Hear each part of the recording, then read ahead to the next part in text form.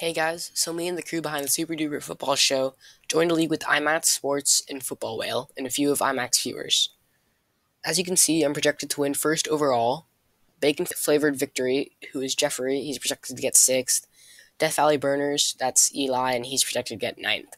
As you can see, that's why I do the fantasy vids here.